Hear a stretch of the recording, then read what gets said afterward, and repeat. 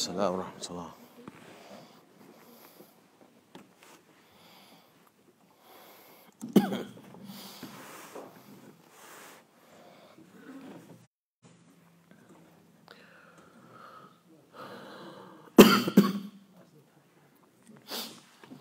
أعوذ بالله من الشيطان الرجيم. بسم الله الرحمن الرحيم. الحمد لله وحده الحمد لله وحده والصلاة والسلام على من لا نبي بعده أما بعد uh, Inshallah ta'ala this evening we will uh, continue in our series of lessons in the book Shama'il al-Nabi sallallahu alayhi wasallam or the characteristics of the Prophet sallallahu alayhi wasallam by Al-Imam uh, Abu Isa al-Tirmidhi rahimahullah uh, this evening we have reached to chapter number 26 where Al-Imam At-Tirmidhi rahimahullah he says Bab ما جاء في صفة إدام رسول الله صلى الله عليه وسلم says the chapter of what has been reported about the description of the idam of the Messenger of Allah sallallahu alaihi wasallam. Now, uh, the idam is uh, that thing that is eaten along with bread. And so, for example, uh, sometimes we have a piece of bread and we'll have uh, sauce. We'll make a sauce in order to, uh, you know, to, to eat the bread with.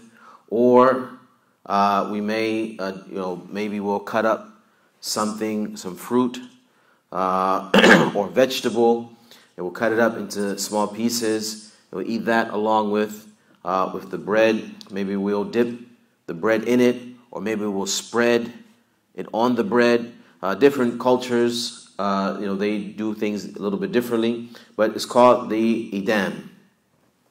And so, Al Imam Al Tirmidhi, rahimahullah, is uh, he's in this chapter. He's going to bring many uh, hadith uh, about that which has been reported from the Prophet wasallam about that which he used to eat his bread with. In the previous chapters, we discussed the bread of the Prophet wasallam.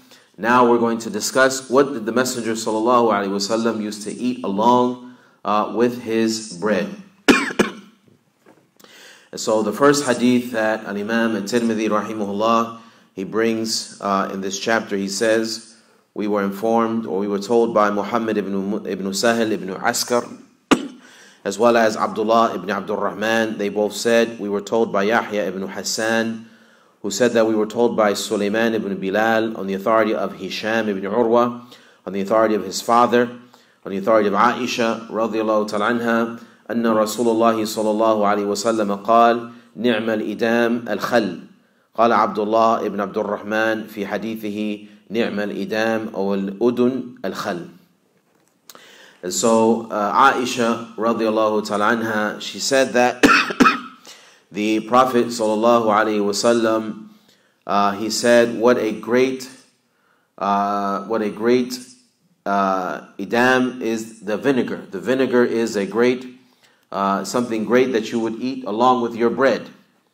Um, and this, this hadith, uh, the reason why the Prophet uh, wasallam he mentioned this is we find in a hadith that came in the Sahih of an Imam Muslim that the Messenger sallallahu alaihi wasallam uh, he came into the house and he was brought some bread.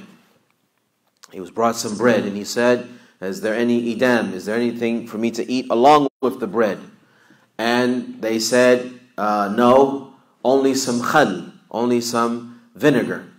And so the Prophet ﷺ, he said, vinegar is a great thing to eat along with the bread. Uh, some of the ulama have said that the reason why the Prophet ﷺ mentioned this about the vinegar, while uh, some things may be a little bit tastier than vinegar. Does vinegar, anybody eat vinegar here? Just dip the bread in the vinegar? Uh, Abu Amir, you do that? Oh, we add it to the salad. some, I mean, just you ever take the, the vinegar and just dip the bread in it? No. So it's it's not something that normally we, you know, a lot of people do that because it's not the most, um, the vinegar is not the tastiest thing that we could use. And so some of the ulama, like Ibn al-Qayyim rahimahullah, they mentioned that the reason why the Prophet sallallahu alaihi wasallam said this about the vinegar was in order to uh, help, uh, you know, help the, his family in being patient with only having vinegar. Is, is, is, he was say, is saying that about the vinegar to let them know that vinegar is, is something that is good for you that you can have to eat with your bread, and that way they will remain thankful, uh, appreciative uh, for the bounties that Allah subhanahu wa ta'ala has blessed uh, them with. Uh, and so a person, if he was to look in his house and have his bread and he, the only thing he could find in his house uh, is vinegar, then he should be happy because vinegar is something, because if you dip the bread in, even if the bread is old uh, and is a little, maybe a little hard, if you dip the bread in the vinegar, it'll, it'll soften, it'll soften the bread up for you, uh, and it'll be, make it something that you can eat. Um, and so this is a blessing from Allah subhanahu wa ta'ala that we should not uh, overlook. And I think in our last class we talked about the conditions of the Prophet alayhi salatu wasalam and how uh, he didn't have much to eat uh, all the time. And this is another example of how little the Messenger sallallahu alaihi wasallam used to have. Uh, to the point where they brought some bread. He said, "Well, is there something to eat along with the bread?" Because uh, who, you know, people don't eat just just bread. It's very rare that you'll just have a piece of bread and you eat the bread. If you have bread, you want to eat something along with it. So he said, "Alayhi salatu wasalam, is there something that can go along with this?" uh, maybe I can dip my bread in. And they said, no, just some vinegar. No, just some vinegar. And to show that the vinegar is not the first choice. To show that the vinegar is not the first choice. because if it was the first choice, when the Prophet ﷺ said, Do we have something to go along with the bread? They would have said, Yes, we have some vinegar. But they said, No, we only have vinegar uh, it showed the, how little the Prophet ﷺ used to have. So the next hadith, uh, Al-Imam al-Tirmidhi rahimahullah, he says, we were told by Qutayba, he's Qutayba bin Sa'id, who said, we were told by Abu al-Ahwas, on the authority of Simak ibn Harb, who said, I heard a Nu'man ibn Bashir, radiallahu ta'anhu, say, ألستم في طعام وشراب ما شئتم لقد رأيت نبيكم صلى الله عليه وسلم وما يجد من الدقل ما يملأ بطنه uh, Nu'man ibn Bashir radiallahu ta'ala anhu wa an abihi as he was a sahabi and his father was a sahabi Bashir ibn Sa'ad radiallahu ta'ala anhu he is the one who uh, Bashir the father of a Nu'man he is the one who gifted to his son a Nu'man, a slave. And he wanted the Prophet ﷺ to be a witness to this gift. And so he went to the Prophet ﷺ and said, O Messenger of Allah, I want you to bear witness that I have given my son the slave. And so the Prophet ﷺ asked him, Do you have children other than him? And he said, Yes. He said, Did you give to them a slave as well? And uh, Bashir said, No. So the Prophet ﷺ, he said, La ashhadu ala jawr. I do not bear witness to oppression. وَاتَّقُوا اللَّهِ وَعْدِلُوا بَيْنَ أَوْلَادِكُمْ And fear Allah and be fair and just between your children. So this is Bashir ibn Sa'd, the father of An-Nu'man ibn Bashir radiallahu ta'ala anhuma. so in this hadith is the hadith of An-Nu'man ibn Bashir radiallahu ta'ala anhu wa an abihi who said Alastum fi ta'amin wa sharabin Do you not have food and drink ma shi'tum? Alaykum salam rahmatullah. Don't you have food and drink whatever you wish? I mean you eat what you want, you drink what you want, you have everything that you would like. لقد رأيت نبيكم صلى الله عليه وسلم وَمَا يَجِدُ مِنَ الدَّقَلِ مَا يَمْلَأُ بَطْنَهُ He said, Indeed, I saw your Prophet sallallahu alaihi wasallam, and he would not be able to find a daqal, a daqal. Uh, a daqal is the, the, the dates that are kind of, uh, they're, not, uh, they're not the ones that you would want to eat.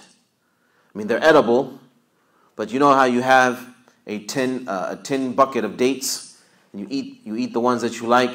There's ones that you don't really, uh, you don't really want those, so you push them to the side, to the side until you get down till there's no dates left except these ones right here.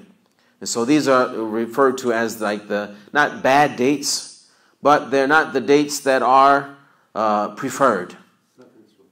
Uh, yeah, they're like your second choice. They're like your second choice. And so Nu'man ibn, Nu'man ibn Bashir, radiallahu anhu, he said, Don't you have the food and drink of your choice? Indeed, I saw your Prophet, sallallahu alaihi wasallam, and he wasn't able to find of these second hand or second choice dates what would fill his belly. Meaning he wouldn't be able to even find from these dates what he can get full off of. Meaning these dates which are not expensive. These you might even be able to find people who just give them to you. Because they, they really don't want them. So they'll you actually they'll be happy if you come and, and, and take them off of your hands.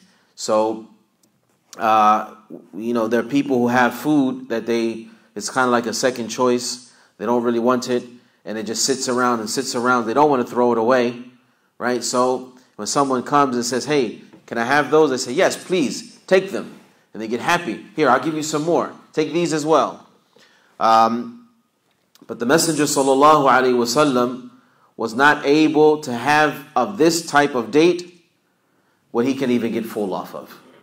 And so Nu'man ibn Bashir radiallahu anhu was, was reminding uh, the people that they should be grateful for that which they have because they can pick and choose the foods that they eat. And we had this discussion uh, in our last class uh, about you know how we're able to eat and drink of our choice. I mean, alhamdulillah, uh, we have to drink, we have water. Not only we have water, we have spring water, we have energy water, we have alkaline water, coconut water, you know, all different types of water. And then from the juice, we have orange juice, apple juice, grape juice, cranberry juice. Uh, uh, what do you call it? The the uh, the the um, the grapefruit juice. Uh, we have all of these different things to drink, and then some of us we have you know Coca Cola, Pepsi, Sprite. Uh, and so we, we open up our refrigerator and we sit with the refrigerator open for five minutes just trying to decide what do I want to drink? What would I like to drink? Uh, from and then we want for lunch we come and we have uh, we have turkey meat, we have chicken meat, we have beef meat, uh, we have you know American cheese, yellow cheese, white cheese, Swiss cheese, all kinds of cheeses that we just sit there and we trying to figure out what kind of sandwich do I want to make. We have peanut butter and jelly, tuna fish. And we sit there for 15, 20 minutes, maybe 30 minutes, just deciding the combination of foods that we're going to have for lunch. And the Prophet ﷺ, he wasn't able to find food in his house that he was able to even get full off of. Now, again, as we said previously, we're not saying that we want you to go home and throw your food away. We're just saying that we want you to be appreciative to that blessing that Allah subhanahu wa ta'ala has blessed us with. Also, we also mentioned previously that the dunya, or having the dunya, having wealth and food and clothes and cars, is not a sign that Allah subhanahu wa ta'ala loves you. It is not a sign in of itself that Allah subhanahu wa ta'ala has favored you. Because if this was a sign, you know, food and money and, and just wealth, if this was a sign in of itself that Allah subhanahu wa ta'ala has favored you and is pleased with you and He loves you, then the Prophet ﷺ would have been the first one to have had all of these different things. May Allah subhanahu wa ta'ala help us. The next hadith, uh, Imam al-Tirmidhi rahimahullah, he says, we were informed, we, we were told by Abda ibn Abdullah al-Khuza'i, who said that we were told by Muawiyah ibn Hisham, on the authority of Sufyan, on the authority of Muharib ibn Dinar, on the authority of Jabir ibn Abdullah, who said that the Messenger sallallahu alaihi wasallam, he said, Ni'mal idam al-khal. Jabir ibn Abdullah radiallahu ta'ala, who said that the Prophet sallallahu alaihi wasallam, he said that vinegar is a wonderful or is a great uh, idam. And this is the same uh, as the hadith that preceded. So the next hadith, uh, At-Tirmidhi rahimahullah, he says, we were told by Hanad, who said that we were told by Waqi' on the authority of Sufyan, on the authority of Ayub, on the authority of Abi Qalaba, on the authority of Zahdam al-Jarmi, uh, who said, كنا عند أبي موسى الأشعري رضي الله تعالى عنه فأوتي بلحم دجاج فتنحى رجل من القوم فقال ما لك فقال إني رأيتها تأكل شيئا فحلفت أن لا آكلها قال أدنو فإني رأيت رسول الله صلى الله عليه وسلم يأكل لحم الدجاج So uh, Zahdam al-Jarmi, he said, we were with Abi Musa al-Ash'ari, radiallahu ta'ala and he was brought some chicken meat. He was brought some chicken meat. And a person amongst the group left, or he stepped away. Fatanaha, which means that if they were all gathered around ready to eat, then he would have backed up in a way that says he's not eating. Okay? And so uh, Abu Musa radiallahu ta'ala he said, Malaka. Like, what's wrong with you? Like, why, why aren't you eating? why aren't you going to eat? So the man said, I saw chickens, I saw a chicken eating something. Meaning it was eating something that he didn't really like. He didn't think that this was something that was appropriate for the chicken to be eating and then turn around and he's going to eat the chicken. Uh, and it's possible because uh, sometimes chicken, when they don't find food to eat, then they'll eat their own. Uh, they eat their own feces. Chickens, if they don't have or if they can't find food for themselves to eat, then they will eat their own feces. And this is possible that this is what he saw, and Allah subhanahu wa ta'ala knows best. So he said, I saw it eat something, and I swore that I was not I was never going to eat chicken. He saw a chicken eating something, and he said, I swore that I was never going to eat chicken. So Abu Musa radiallahu ta'ala anhu, he said, Come over here, for verily I saw the Messenger of Allah sallallahu alayhi wasallam eating chicken meat. And so this shows us the permissibility of eating chicken. Now, there is a prohibition that we find in the Sunan of At-Tirmidhi, also in the Sunan of uh, Abi Dawood, with an authentic chain, that the Prophet wasallam naha an akli jalala wa albaniha. The Prophet sallallahu alaihi wasallam prohibited eating the jalala and drinking its milk. Now the jalala, they're the animals that eat filth. They're the animals that eat filth. And so the Prophet ﷺ prohibited us from eating those animals and drinking their milk. And so if you have any animal, chicken, goat, uh, sheep, or cow, or uh, uh, just the, the camels, if their survival is off of filth, like sometimes here in America, I don't know about farmers uh, overseas, uh, they have some animals that they that they feed uh, the, the, the, not just scraps like leftovers, but filth. They'll feed them garbage, and the and the animals will eat it. Um, I've actually seen goats eating cardboard. I've seen goats eating cardboard. Um, one time, uh, I don't want to mention where I was. I don't want anybody to get angry with me, but I was in a certain place and I have a video of this, as it was amazing to me. Not amazing in a way like, oh wow, it was amazing. Like, how would somebody do this? Um, the garbage was dumped in the middle of the street. That was where the, garbage people pick up the garbage from. So the people that live in the area, they walk out to the, uh, you know how they're in, in, we have a medium. They have one side of the street, cars going one way, another side of the street, cars go another way, and then there's like a sidewalk in the middle for people to walk. Or in that place, uh, people just go out, they bring their garbage cans, and they dump the garbage out right there in the middle of the street. Right? So this, and then the garbage people will come along, I don't know, once a week or once whatever, and they'll pick up the garbage from there. Not, not in a can, it's just on the ground. Now, there were people who, were, who had who owned goats. They would bring their goats out to these places and feed their goats of this food. Or, uh, now I don't even call it food, it's, it's garbage. It's garbage. And it's intended to be picked up and taken away to a waste, uh, whatever they do with the waste uh, of, of that place. The people come and they bring their animals to eat from that. The Prophet ﷺ has prohibited us from eating the jalala, and that is any animal that eats filth. Any animal that eats filth, we're prohibited from eating its meat, and we're prohibited from drinking its milk. Is that considered filth? Well, yes. Is, Garbage is sitting out, it has bacteria, it'll make you sick. Yeah, the, the, the pig. The pig is also an animal that they actually in, in America that's what they feed the pig.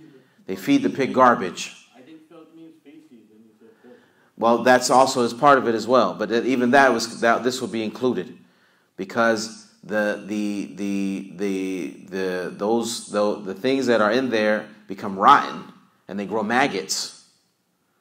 They grow maggots. Um, if you leave rice sitting out, actually, they had this happen to me uh, once where uh, I had a bag, I had some, I had, a, I had a garbage bag right when I was leaving uh, Medina after I graduated. I had sent my wife and my children home, and I had stayed back for about, a, I think maybe I remember if it was two weeks, and I was finishing up cleaning up the apartment that we were living in to turn it over back to the owner. And as I was cleaning, we had some rice. I didn't know what to do with it. Uh, and I was leaving. I had a plane to catch, so I, I just, you know, I dumped it in a bag. And so the bag was sitting on top of the counter, and I don't remember how it, the bag ripped open, and it sat there. It sat there, and because I was busy, I had things to do, going back and forth to university, trying to take care of everything, and the bag sat there for several days. And then one day I went back. I said, "Let me go back in the kitchen uh, to make sure everything is clean. And I see the bag on the counter, and maggots are growing out of that. In Ramadan, our garbage can here at the masjid, it, it overflows. And the, the, the maggots crawl, they become so much that they crawl here and they're in the masjid. And that's how we get the flies all over the place.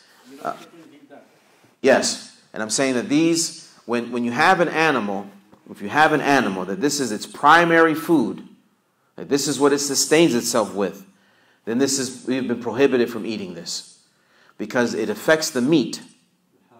It affects the meat uh, uh, uh, because when, when an animal sustains itself on something that is filthy, then it affects the meat and it, in, it can in turn cause harm to us.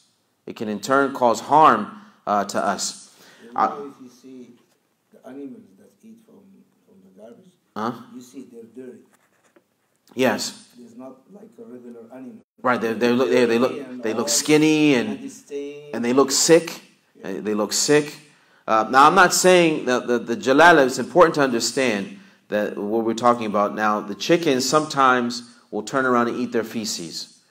The goats will eat something that is rotten from time to time that doesn't automatically make it a prohibition. We're talking about the jalala is that animal that it sustains itself off of this type. This is how it survives. We understand? And so if we see a chicken, which is why, uh, which is why the uh, the tabi'i uh, Zahdam, he said he saw it eat something, and when he saw that, he said he said, "Wallahi, I'm never going to eat chicken again." Wallahi, I'm never going to eat chicken again. He saw it turn around. I believe, and Allah knows best, I believe he saw it turn around and eat its own feces, which made him swear that he's never going to eat chicken again. And when he explained that to Abu Musa, Abu Musa said that, come on and eat because the, I saw the Prophet ﷺ eating chicken. Which means that that chicken was not primarily fed and sustained by filth. But what is prohibited as it relates to the jalala is the animals that they're sustained. When you look, their primary source of living and their primary source of eating is filth, uh, you know, bacteria you know, bacteria filled uh, garbage, their feces. If this is what they're surviving off of, it's been prohibited for us to eat that.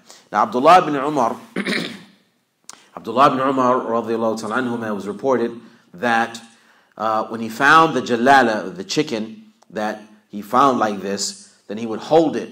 He would make it mahbus. He would, um, how do you say the mahbus in English? He would, um, uh, huh? He, he would keep it locked up.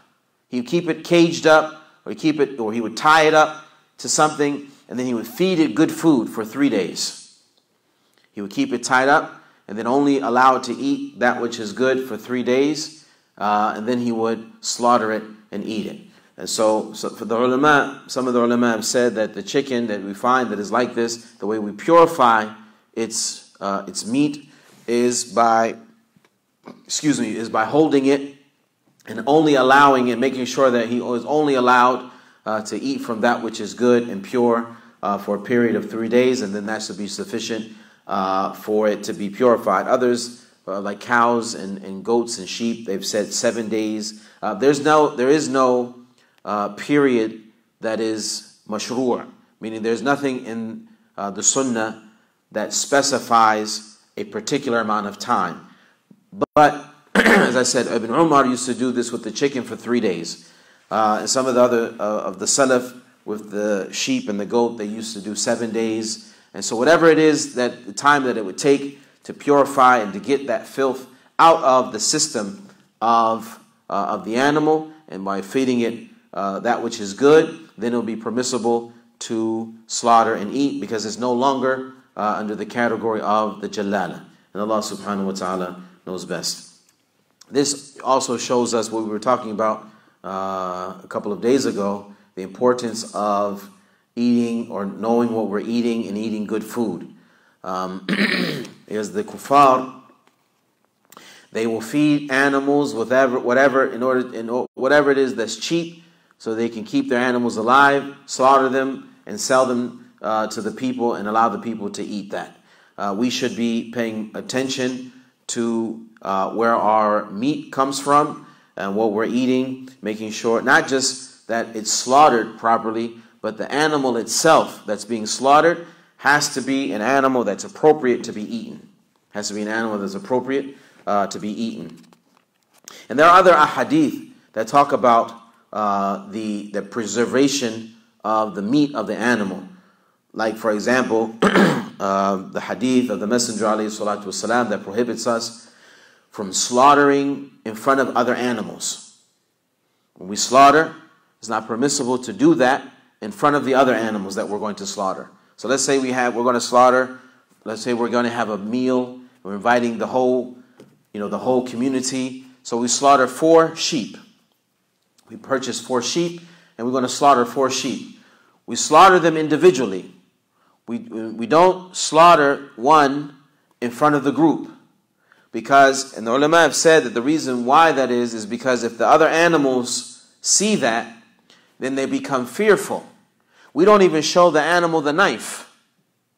When we're going to slaughter, we don't show him the knife because the animal becomes anxious and he tenses up, he becomes scared, and if he's slaughtered and that tenseness is in the meat, then it can cause harm to us when we eat it. I don't know that, I think that there's some type of chemical that gets secreted uh, because of fear. It gets secreted in the body. Something, some chemical reactions happen. Uh, even us as humans, when we become afraid, there's something that are some chemical reactions that happen within us, and that goes into the meat.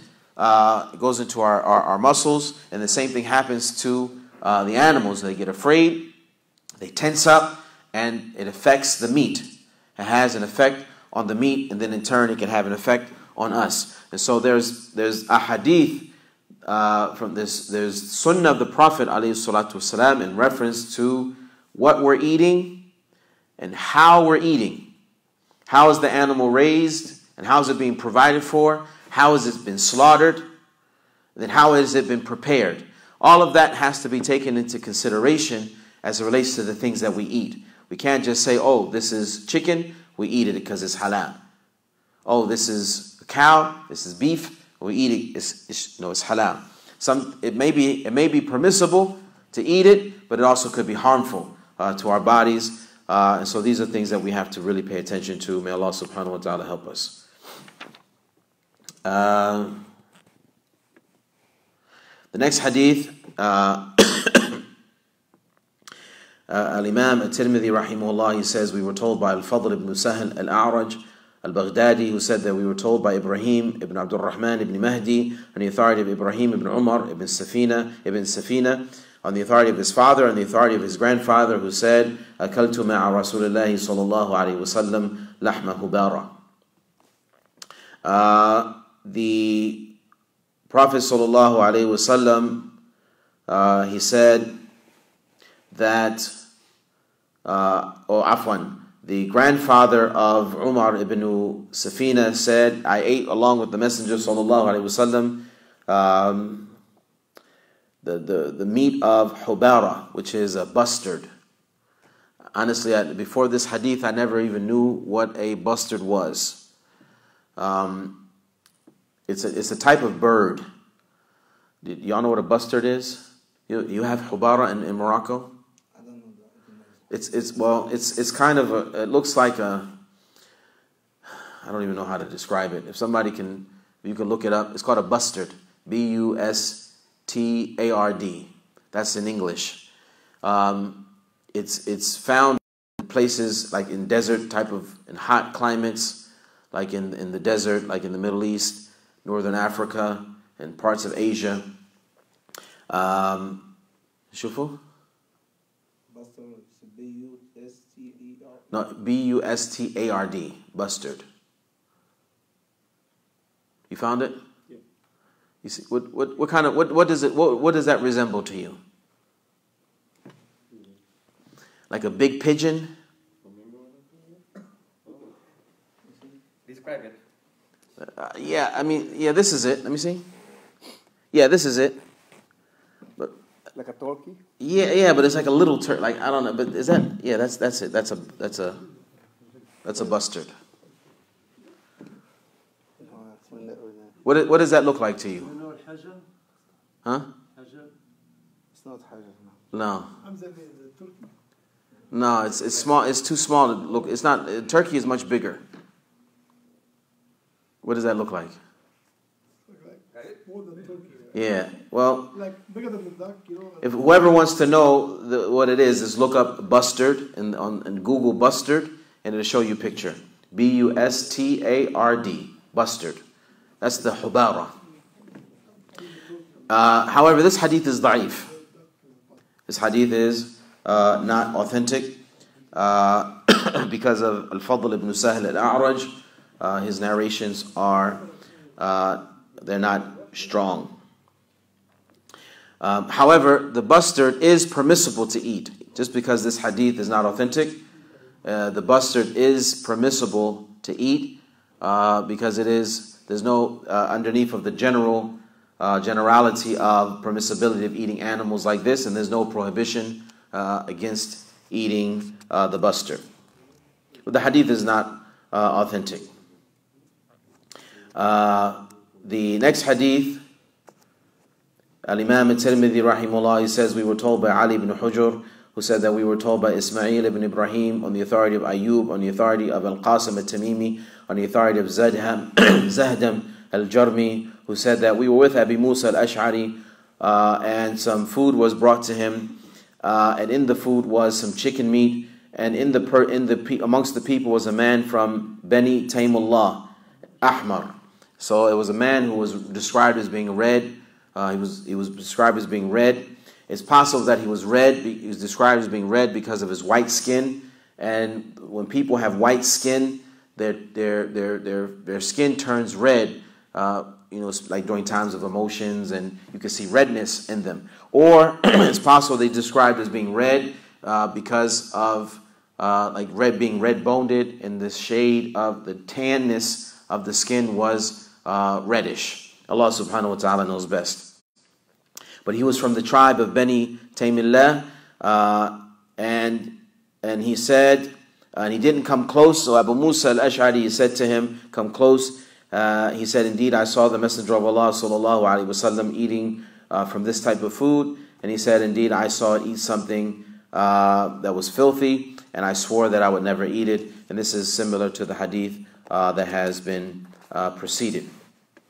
The next hadith, uh, Imam al-Tirmidhi rahimahullah, he says, we were told by Mahmud ibn Ghaylan, who said that we were told by Abu Ahmed al-Zubaydi and Abu Nu'aym, they both said that we were told by Sufyan on the authority of Abdullah ibn Isa, on the authority of a man from the people of Sham, he's called Ata, on the authority of Abi Asid, uh, who said, the Messenger of Allah sallallahu alayhi wasallam, excuse me, he said, excuse me, uh, the Messenger of Allah sallallahu alayhi wasallam, he said, Kulu az-zayt wa-dahinu bihi فَإِنَّهُ مِنْ شَجَرَةٍ مُبَارَكَةٍ The Prophet sallallahu alayhi wasallam said, eat olives uh, or the, um, the, uh, the, the oil, the oil of the, of, of the olives, uh, yeah, the olive oil, وَالدَّهِنُ بِهِ mean oil yourself, moisturize uh, yourself with it, فَإِنَّهُ مِنْ شَجَرَةٍ مُبَارَكَةٍ Verily it is from a blessed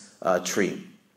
This hadith, uh, in it is the man, his name was Ata, and his uh, narrations are unacceptable. Uh, so this hadith is not authentic. However, uh, there is an ayat of the Quran that mentions that the that the the, the zaytun is blessed. There's an ayat of the Quran that does mention that the zaytun, that the olive, uh, is, it comes from a blessed tree. So that part of the hadith is authentic because of the verse of the Quran as it relates to the command of the Messenger والسلام, to eat it and to oil ourselves with it and to moisture ourselves with it, uh, then this is uh, not authentic. And the next hadith also uh, is from the narration of Umar ibn Khattab that the Prophet ﷺ, he said, Kulu zayt wa dahinu bihi fa innahu min shajaratin mubarakah. Uh, this also is uh, not authentic because uh, there is a disconnect uh, in the chain. and the next hadith, and, uh, and the next hadith, which is also another another narration, which is the same hadith, but with a different chain on the authority of Zayd ibn Aslam, who reports this on the authority of Aslam. The Prophet ﷺ mentioned that to eat uh, the olives and oil and moisturize yourself with it, for verily it is from a blessed tree. This, this isnad uh, is also uh, not authentic. Uh, again, uh, the olive does come from a blessed tree because Allah subhanahu wa ta'ala, uh, He said this. Um, but as far as the command to eat it and to oil yourselves with it, because if there's a command, not that it's permissible to eat olives and to eat olive oil, it's permissible to do that. However, if the, the difference between this hadith being authentic and not being authentic is that there's a command from the Prophet والسلام, to eat the olive or to eat the oil and to oil yourself and moisturize yourself with it. If the hadith is authentic, then we would say that it is recommended. there's a command from the Prophet ﷺ to do so. He would tell everybody to go out to the olive farms and get your olives and, and, and squeeze out the, the oils and to moisturize your beard, your faces, your hair, your hands, your body with it, because this would be the command of the Messenger ﷺ. So there are those who, who, who say, who believe that these ahadith, the, with these different chains, they strengthen themselves to a level of being hasan, which means good, uh, which would mean it is uh, uh, correct or authentic. However, uh, Allah subhanahu wa ta'ala knows best. It seems as though um, in each of these chains because of the, the level of the weakness uh, that they may not necessarily strengthen themselves. Uh, but those who say, those who those of the ulama who recommend this practice, then this is the reason why, because they see these ahadith that one will testify for the other, and then there's those from the ulama who say that they know that these ahadith are remain weak. Allah subhanahu wa ta'ala knows best. Um, our last hadith of the evening, we'll mention this. Uh, we'll mention. Well, we'll leave this because there's there's still a lot more hadith under the chapter. So we'll we'll, we'll stop on this uh, hadith number 159, and we'll, we'll we'll pick back up with hadith number 160 uh, next week, inshallah. Does anybody have uh, any questions about that which has been uh, mentioned so far? Tfadal. oil from the olive, Mm-hmm. is that comparable to oils that oils that we buy on the shelf? Uh, you'd have to ask the brothers from Morocco are big time olive oil eaters. Or Like because do they make that? Is it something added to it or whatever? I honestly, I honestly, when I go to the store, I told I'm I'm from the city, so uh, when I go to the store and I see the olive oil, one is like really dark, and then one looks like it's a whole different color of green, and one says virgin, and the other one says it's also virgin. Uh, I don't even know what that even. Yeah, I don't even know what that means, honestly. I don't under, I don't know. So maybe the brothers can explain, huh? So you can't try. We all try of to them. the taste. That's what how we find out. Yeah, but what does it mean when it says virgin olive oil? When it, what does the word virgin mean? Huh? Take the extra virgin. Well, okay, well what's the what's the extrovert? What does that mean? First, the first uh, Not mix it. They don't mix it with what? So it's extra. It's extra. Like it's virgin. Alaikum olive salam wa oil. rahmatullah. It's just with it like the virgin, not been touched. So it's nothing just pure. Like the virgin woman. It's the Yeah, that's first. Hey, First, extra virgin is the first. So this it's the first one to come out. So what's the difference between the extra virgin and the virgin? the ex- one is more extra virgin, the first one, the what do you call? it? Because all the, the pure come in in the first. Uh-huh. The first. And then the virgin is just it just hasn't been mixed. That's what that means. We don't know what they do. Ah. That's what I'm saying. The only Uh, thing we, we, we, we, we, we try it. We have done, we try it, we taste it, eat it. If we will maybe someone can can benefit us. Maybe someone can benefit us we dip in the oil. by Right? Yeah, yeah. uh, by doing by doing the research on the different companies and what that term what do they what do they do Abu Tariq do you do you do you The extra virgin, means the first time they press it. the first time they press it Virgin means that they take the, the same olive that they already Salam salam. and they press it again. Ah So there's still more oil in it. ah They press it again. So the very first set is extra virgin. The second time. so they press they press the olive and the oil that comes out that's that's extra virgin so if they press the olive again a second time then that or any time after that then that's that's the virgin like a light, light oil. More light. And what's and what is the benefit or what is the difference between the two as it relates to cooking or eating or Yeah, the taste for the Taste, extra you eat it is raw. so the, the, the extra virgin tastes better Yeah. Uh, and it's more healthy. The bread. They got different, and some of them, some of them have different uses when you look. Like some say, this is for marinating or, or salads, and this is for cooking. I, I don't I don't think that in in, in, in in general as a general rule uh, anything that if we look on the ingredients and it's been mixed with anything uh, I don't I don't know that, that that's not what we're looking for. If we're going to if we're going to eat the olive oil, then we should look at the ingredients to make sure that uh, first where is it coming from. Uh, the certain places are which are known for their olive gardens or their olive you know farms more than other places. Um, like in in, in Asham, Asham is well known. Yeah, Asham is well known All- all the for their olives. Countries they have olive. Huh? All the Mediterranean, All of them. yes. Uh, Since Spain, all around, or back to Morocco, it's the same. There's one brother like this size for two dollars. Subhanallah. Virgin olive is ninety-nine point ninety-nine percent pure. So where does that other percentage? What is it? What is that? That's my, that was my question. Ah. Is that the same, is that in the jar, is that olive? I, I- I mean, I believe, to be pure. I believe that. Who I believe that that's if you it, it cheats, you know. and and Most I time they mean, cheat. They mix it with canola oil, whatever we can. ah, they do that. Yeah. Allah al-Mustan. Yeah. You guys can tell? Huh? You can Taste. tell when they mix it? The taste, the taste, and uh, you can't eat too much on with the one is mixed. It, it will, it will Mm. hurt you. Which brand do you buy? You know which brand. Huh? Which, what one do you buy? If I, I can find the Moroccan one, I like it. What's the name of it? It's, uh, have uh, First year. Fassia or Fasiya, you can buy that here. yeah, they have. You go to the to the Arabic store. They have. Ah. Uh, well, inshallah, maybe, which, which one do you buy, Abu Tariq? I buy Zaytun from Restaurant Depot. Ah, I buy the uh, the Bertaroli. I don't even know how to pronounce Yeah, it. restaurant people they have one called Lira. It's not bad. Lira, Lira is good too. Greece. Yeah, it's, it's, it's, it's good. Al-Quds, Anyone? there is a store. Uh, yeah. Uh, Jerusalem, because, yeah, Jerusalem store, they have, I told you, like What's a that small water like this. The one that's the store that's connected to Al Quds. Yeah. Ah, because they have a, they have a, they have the, ah, Soil from Palestine. Subhanallah. Extra, extra, it says extra virgin olive has a, has a superior taste.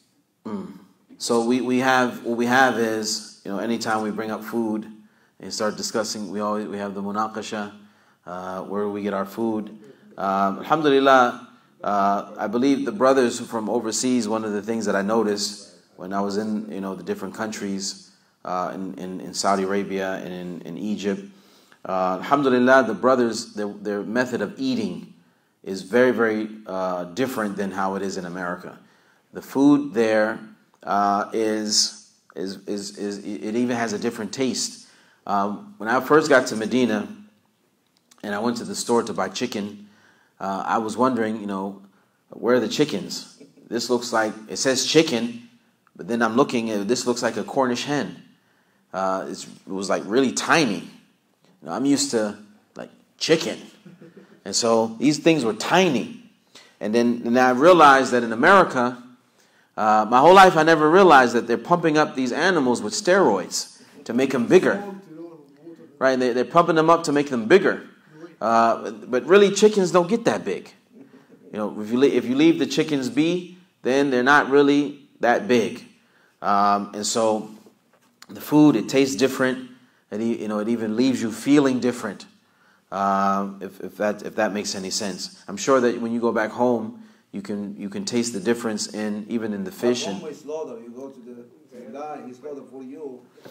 Live chicken. Yes, and so you're right, right? Because even in Medina, in the souk, like right, you, you you when you're walking down the street, they have all the chickens in the cages, and and they say, you know, you want some chicken? You say, yeah, I want, you know, give me give me that one right there on the top. No, no, no, not that that one, the other one, and then he slaughter it for you right in front of you, and he'll skin it and cut it up right there, and you take a, a fresh, you know, that's fresh.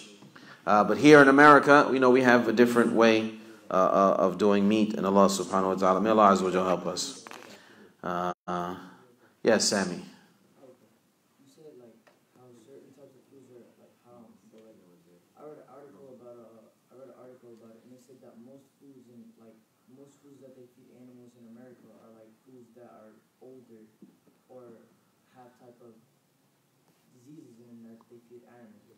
So that's what kind of- Um, that there's, there's it's going to be very difficult to, to because America is so big that it's going to be difficult to pass uh, a blanket statement about the food that they what they do in America.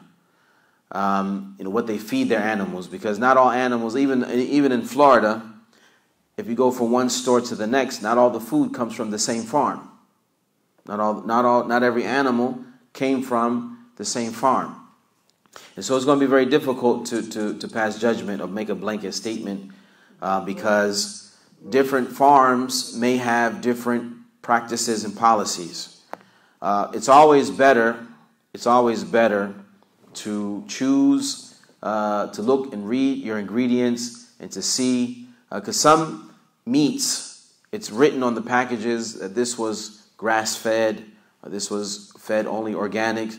Um, our brother, uh, khaira, um, Mustafa's brother, what, what, I keep forgetting his name, who owns a farm in St. Cloud. Ibrahim. Ibrahim. Uh, I had a discussion with Ibrahim uh, uh, maybe a year ago or two years ago about his animals and what he feeds them. And he actually showed me uh, the food that he feeds the animals. And he showed me that the ingredients, we went through the ingredients. I don't remember all the details right now. However, the ingredients were all natural. So the food that he was feeding his animals uh, were, were like all had all natural uh, ingredients. And so, alhamdulillah, the animals there, I would, you know, if you're going to go, and I'm not, uh, this is not diaya, this is not, uh, uh, not a commercial. Uh, however, I'm just saying that this is, alhamdulillah, if, if we're going, if, if you wanted to, if you wanted to be certain about your meat and, you know, where it came from, you could go to the brother's farm, you know what he's feeding his animals, how he's raising them, you can see their living conditions. Uh, you can go out there, you can slaughter it with your own hands and, and skin it, and then you'll know exactly where uh, you got your meat from. However, going to the store, even going to some of the Muslim stores, um, it's it's kind of uh, at times it may be you know question mark as it relates to uh, where did the animals come from. Uh, and I'm not saying that any of this is haram. Uh, however, if a person wanted to make sure and he wanted to you know uh, be diligent about his family, then he would slaughter uh, with his own hands, and this is the best way to go about it.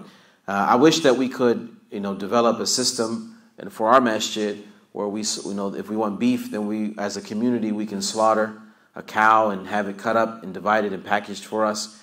Uh, I'll take the steaks. You know, you can, you guys can have the ribs, uh, and you know, and, and, and it'll be cheaper for us in the long run. You know, we can buy big, uh, big freezers for our homes, and then we can stack the meat up slaughter sheep and have it cut up and packaged uh, for us. It'd be, it'd be easier this way if we could do this versus, huh? That's what they do. Yeah, two, three hours, right? Oh, that nobody's nobody's ever invited me. That's that's. Uh, Next time, inshallah, we'll know. Well, Tariq, is this is this you you you have this system? Oh, I guess I'm, I'm the only one who who's been left out. Uh, Next time, we'll do what- Shuaib, you, you do this as well? Okay, alhamdulillah. I don't I, I don't feel I don't feel alone now. But this is something I think that we should do for our community. Um, you know, it's, it's healthier, healthier, number one, and it's cheaper. It ends up being cheaper in the long run. It ends up being cheaper in the long run. Uh, slaughtering, uh, going to the farms where we know the people who own the farms and, and we see the conditions of the animals and we see how they're taken care of. We can see that with our own eyes. We can see what they're eating with our own eyes. And then we see how they're slaughtered with our own eyes. Uh, and then we take that home and feed our families with that. That would be the best way, and Allah subhanahu wa ta'ala knows best. Now, khair inshallah. Uh, we'll stop here. Inshallah, we'll pick up uh, next week.